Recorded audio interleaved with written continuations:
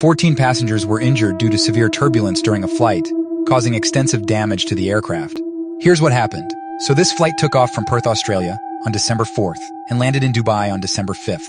The plane was an Emirates A380. According to Fox News, the turbulence began as the aircraft approached the Persian Gulf. The plane began to shake violently. According to testimonies gathered by Australian media, a passenger recounted that the pilot announced turbulence, asking people to literally sit down. A second later, according to them, several passengers were hurled skywards, hitting the ceiling. One passenger describes this experience. It really felt like the end when we hit the ceiling twice. I'm glad to be home. This passenger describes it as horrible. I hate flying. The pilot announces turbulence and asks to sit down. Literally, a second later, myself and others hit the ceiling. You can see my hair in the crack.